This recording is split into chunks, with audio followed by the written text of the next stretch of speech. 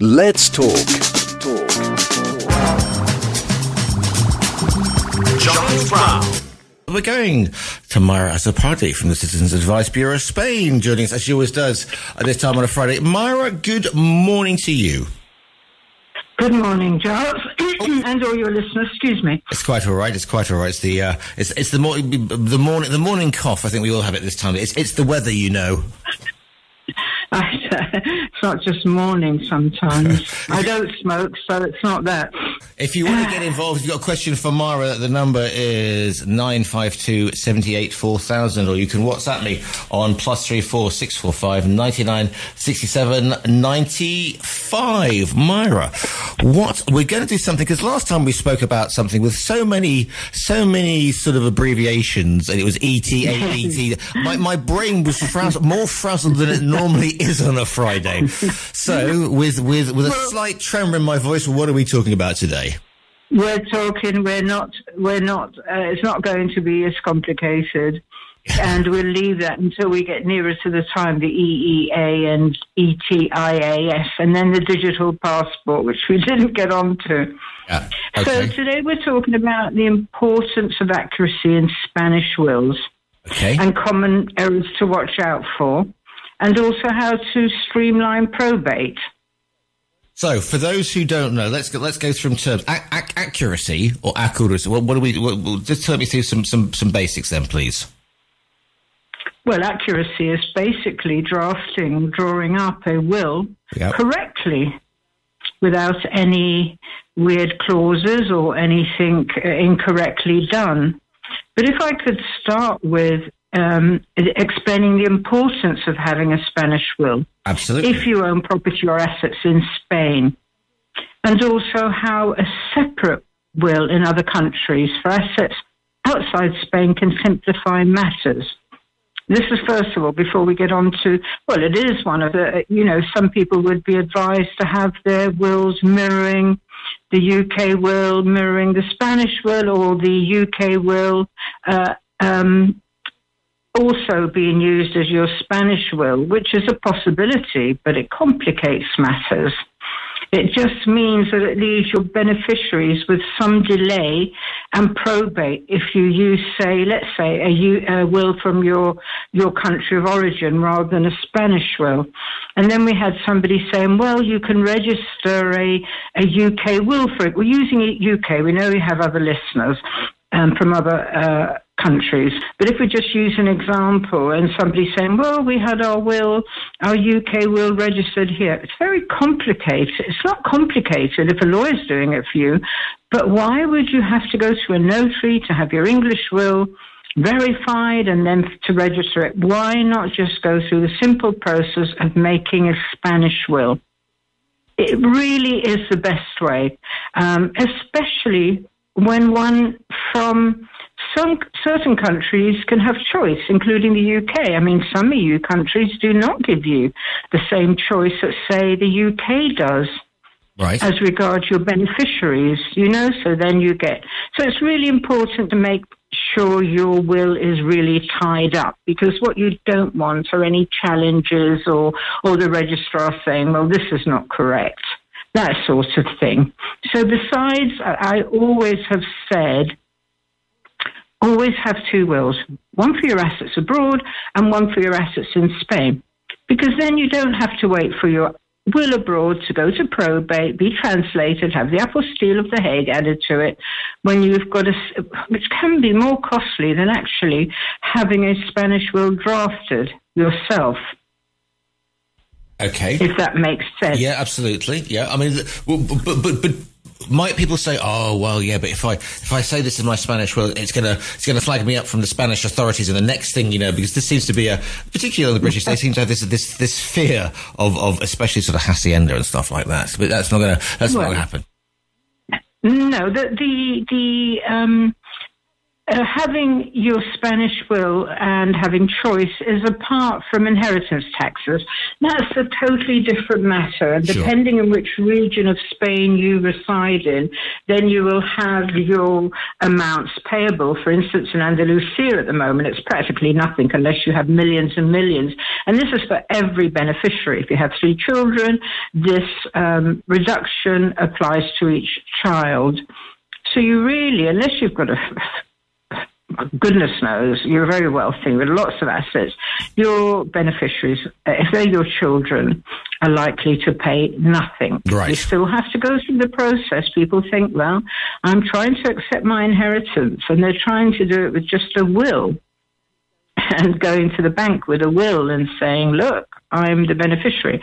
First of all, the will you hold, and we, this came up as well, I thought we ought to discuss it, is not the original copy. Somebody asked, why haven't I been given a signed will?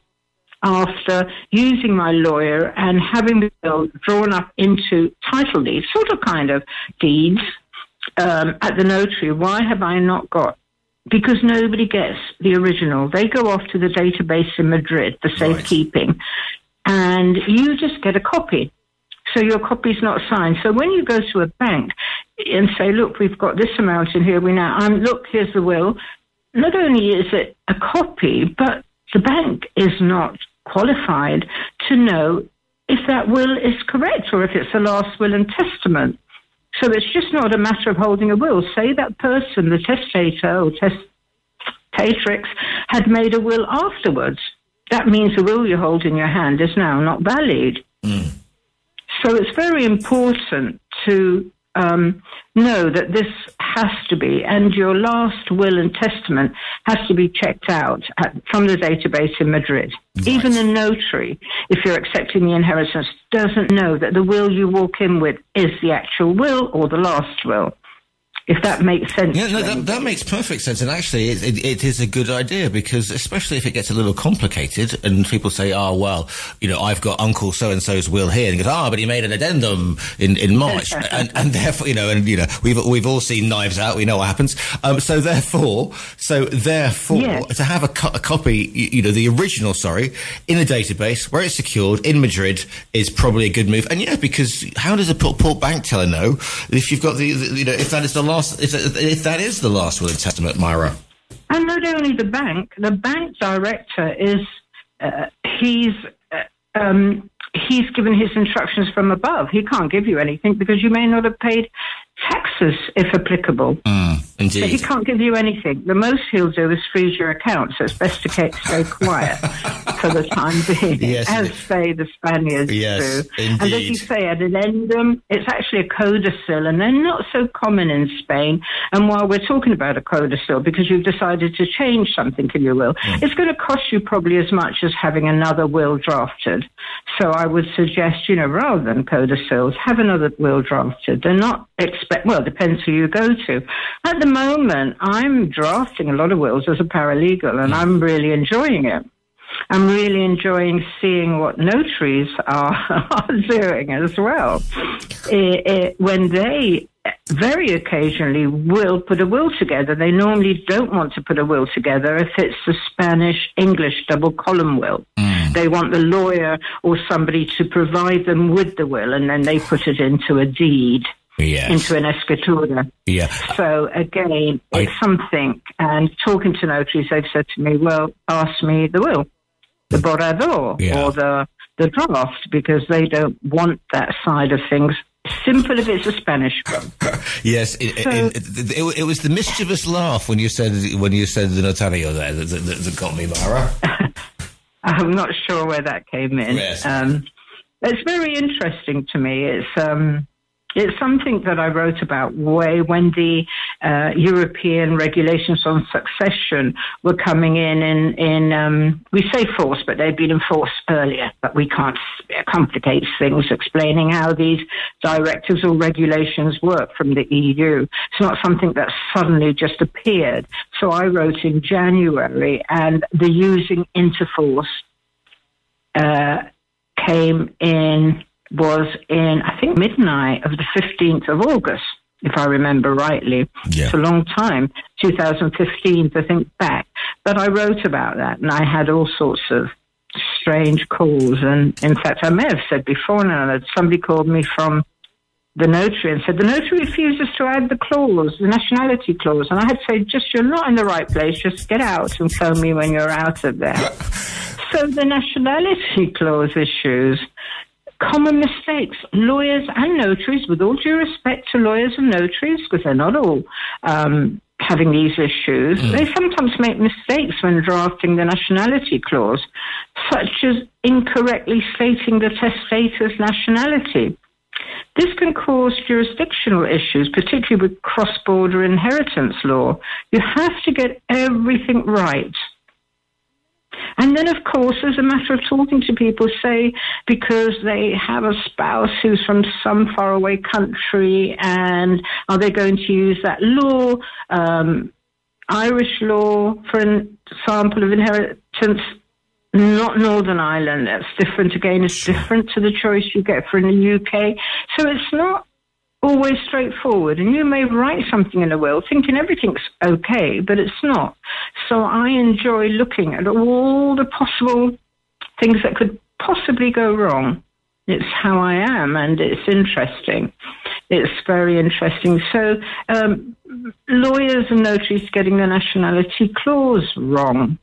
I mean, that means that um, mm. if somebody wanted to challenge your will and something was wrong drafted into your wills, then they could use this to challenge. You know, you never know when you're going to have a child or a beneficiary come out the woodwork. You just don't know. Or you might be UK and wish to disinherit children, which you can't if you're Spanish, right, unless Okay. They've tried to poison you. Oh, right. That's, yeah, that sort of. Really? You can disinherit, uh, yes, your child if they've tried to do away with No, you. I mean, the, not, not, not the child trying to poison you, Myra, but, you, but, but in Spanish, you can't just disinherit your children going, I reject you. Uh, you that's not an option. Only if they try to poison you. Uh, Only if. I mean, you're using. Po- I mean, other, other other means are presumably are, are presumably acceptable. I mean, they can try, you know, yes, just other other words. So yeah, okay. Just to say that it's not as right. that. You know, it takes a lot. You can't just inherit, as you okay. say, your children, unless. But you can't. But you can if you're UK, for example. You use UK. You can just leave. You know, so we. Uh, I sometimes wonder how notaries go through it all when they're reading the drafts of wills. They're going, married, um, now divorced, and married, and divorced. Because they're so used to a simple Spanish will. Usually, a couple. yes. It's changing. Will just be married. They'll have one wife and their children. It's so simple. But if you've got a marriage, children from that marriage, or children from that marriage, all that has to be in a will. A lot of people don't understand why they ask you for your parents' names. Well, they do that, don't they, when you go for residency? Because this comes from the fact that Spanish children will have separate names to their parents.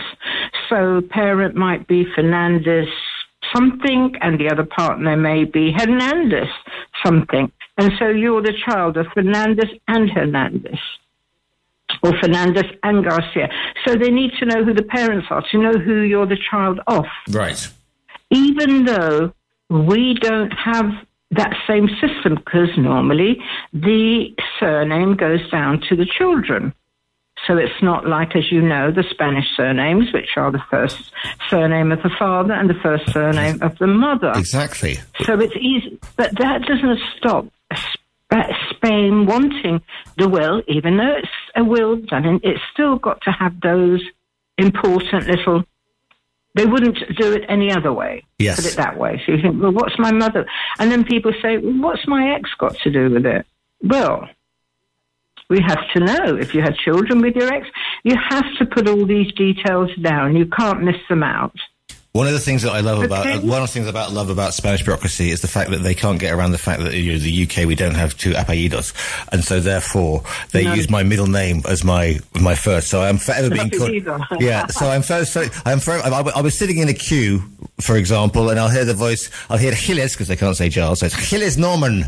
So I am of the of the North because Norman is my middle name. You see, so that's always the indicator. and people look around at who this strange Gilles, yeah, Gilles Norman. Gilles, Gilles, I am Gilles. Yes de la Provincia. So. This is why I thought so many times wish and just let them use my second name because Myra is written as in Spanish, it's mira. Mira, and it's yeah. quite embarrassing when you're being called out like, look, look, you feel Chinese. Yes, but So, um, just to diverse quickly, I was in the hospital and there, there was, there was a, uh, an English family there called Glass, and it was a family, and the very nice receptionist shouted out, "Family of glass." She meant the glasses, but, but I looked around to see all these people who are made of very shatterable materials. Anyway, Myra, please continue.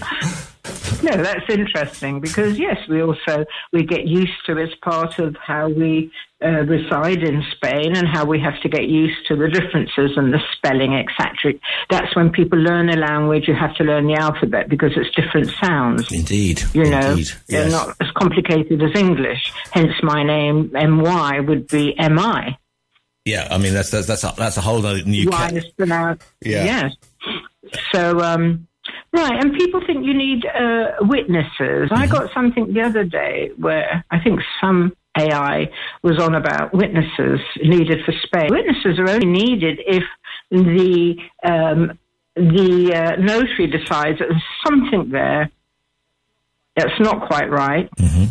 You obviously have to be in full. Uh, you have to qualify to be able to uh, uh, draft your will. You have to be of sound mind, and the the notary has to say this. So witnesses say if somebody was blind in that sort of situation. Otherwise, you do not have to take two witnesses. You do, do need to understand Spanish fluently enough to understand a will, or you have to have an interpreter. Sure. So That makes. I mean, that makes sense. So you're you're actually putting down. You know, you're actually dictating exactly what you mean, rather than just nodding and and trying to get by in Spanish. Yeah.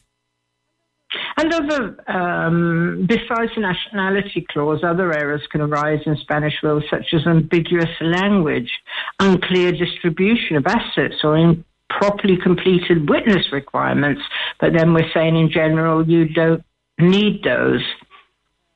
Um, failure. Also, a lot of people failure to update the will. Yeah. You have a will, and then things change, such as marriage or divorce Or properties or, or whatever. else. additional assets. Yeah. It's always good if you you can make it simple. If you think you want all your assets to go to your beneficiary, it's always more simple than starting to list everything. You know, to so and so this. And remember, it's not just a notary will draft your will, but it's the registrar. When your beneficiaries go to accept the inheritance, it's the registrar that's going to accept that will or not.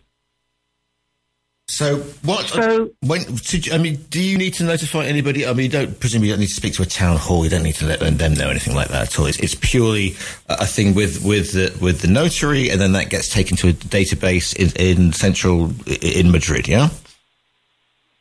Yes. Um, the the importance, I think, is that people don't consider is letting your children know exactly how it's going to work, Right. regardless of you probably using a lawyer to accept the inheritance, which is a good thing to do because your children are coming over. A lot of people want to get the NIE beforehand. I don't think that's necessary because they say they're in the UK or France. They can get one at the uh, consulate there if they're going to accept an inheritance. And goodness knows what's going to happen with these certificates when we've had valid for three months for a while. First of all, they were your numbers for life on your NIE, but the certificates for a while were only valid for three months. So there's no point then. It wasn't any point in getting a, uh, an NIE, and then the certificate wouldn't be valid. So I don't think that's really important. I think what's important that, for instance, I talk to people, I explain everything to them. I explain before, during, and after. And it's important that your beneficiaries, whoever they are, uh, are given peace of mind. It's going to be a really distressing time for them, and the last thing they need the complications of a will. So to put your beneficiaries through the steps that they will have to go, even though a notary will take charge, I think it's always good to know rather than going blind what's going to happen. Sure. Sure. So, what are the what are the major points you'd like to like to give people today, then, Myra, about about Spanish wills and what they should be considering? Okay. I think they should, um, first of all, consider having separate wills because it avoids uh, the cost and delay of um, probate from their original country with their original uh, will. And to keep those two wills totally s- s- separate. you know, you can have, and it will likely have, um, if you're a foreigner here, that the the will you're making will exclude all other wills except for wills you may have made abroad. Even though it's a bit complex because the regulations on um, succession, the EU regulations, talks about worldwide assets. Yeah. But here you've got the notaries and the registrars understanding that your will is your last will and testament, but it doesn't it doesn't mean you cannot use a will that's drafted abroad for your assets, and that should be in the will as well. Um, the clauses that they're correct. Your nationality clause is correct. You know, depending what nationality you have, how that's worded is really important two things. What else?